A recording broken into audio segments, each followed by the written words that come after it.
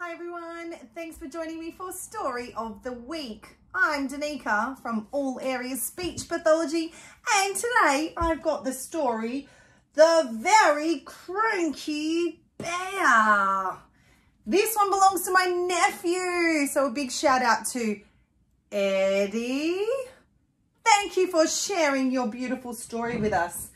The Cranky Bear uh, Stories or series by Nick Bland is one of our favorites at home as well. So there's a very noisy or loud bear and a brave bear and lots of other um, bear stories in this set as well. Today we're going to read about the cranky bear. So you might see cranky done like this, like you're squeezing your claw hand shape in front of your nose. You might like to do the same for angry. Urgh, angry instead of cranky. Today I'm going to be using the sign for cranky. And the sign for bear, there's going to be some animals in this story. So bear is by taking your dominant hand, moving it from your nose down into a fist shape like this. Bear. There's going to be a lion with a big mane. There's going to be a zebra with some stripes. There's going to be a sheep. And there's also going to be a moose. Now, we don't have any moose in Australia, but a moose has big antlers like a deer. So we're going to use the sign for deer or antlers for moose. Let's see what happens in the story. The very cranky bear. In the jingle jangle jungle on a cold and rainy day four little friends found a perfect place to play. Well, here's the moose. Moose had marvellous antlers and lion a golden mane. Zebra had fantastic stripes and sheep, well, sheep was plain. So he didn't have any of those, none of those fancy features.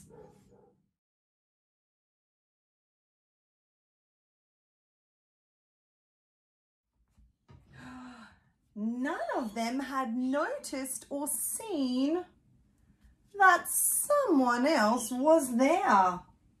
Sleeping or sleeping in that cave was a very cranky bear. Oh no.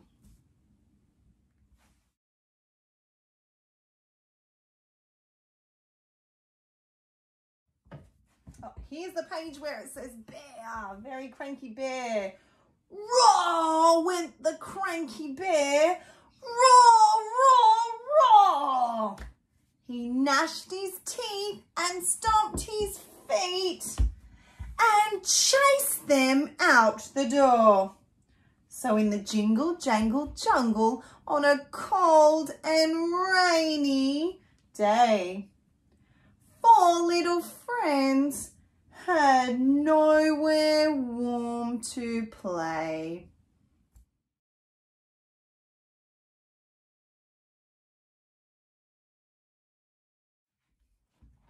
Wait a minute, wait a minute, said Zebra as she scratched her furry chin. Or maybe scratched her chin. Maybe if we cheered him up or made him happy, he'd let us come back in. If I did not have stripes, said Zebra, I'd be cranky too. We should give that bear some stripes. That's what we should do. Stripes are silly, Moose complained, especially on a bear. My antlers always cheer me up or make me more happy. Let's give that bear a pair.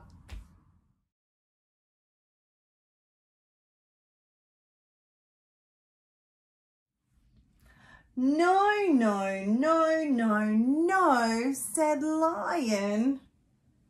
Antlers are a bore.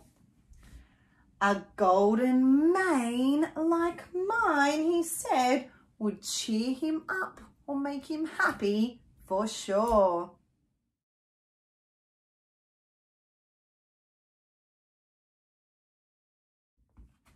So Zebra fetched a tin of mud or dirt and Lion some grass of gold. Moose got two big branches from a tree maybe. And sheep, well sheep got cold.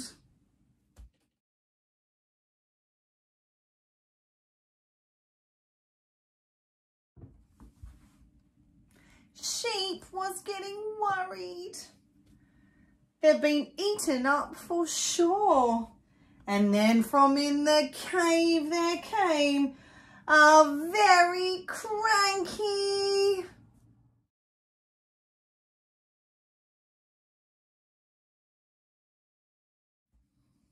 Roar! Zebra, lion and moose ran out and Bear was right behind them. he was following them. They hid behind the bushes where they hoped he wouldn't find them. Why is he still cranky? He's got antlers, stripes and mane. Before we gave him those, Lion said he looked so very plain or he had none of those exciting features.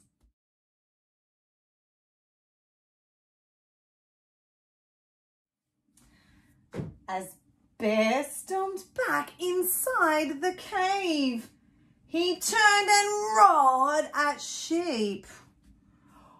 All I really want, he said, is a quiet place to sleep or sleep.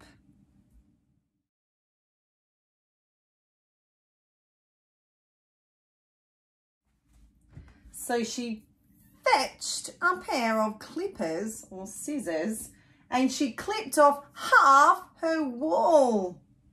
She stuffed it in a cotton bag until the bag was full. She tiptoed back inside the cave. Excuse me, Bear, she said. Would you like or like a pillow? For underneath your head.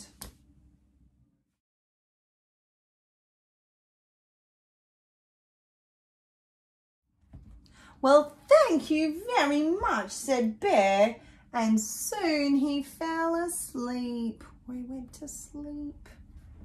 Maybe he was dreaming of a plain but thoughtful sheep. So this story was a request from Maddie and the children at Kookaburra Korner Early Education Centre. We hope you liked learning some of the signs from this story. And if you have any requests for books, feel free to send them in. Looking forward to signing with you next time. Bye everyone.